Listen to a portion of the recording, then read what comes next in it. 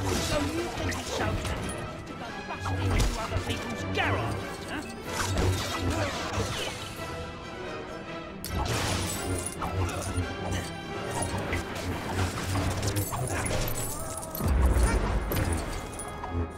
Yeah.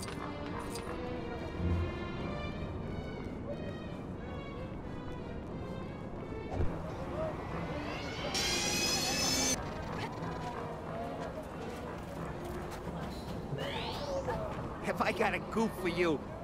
That ain't my speeder. I, I just remembered.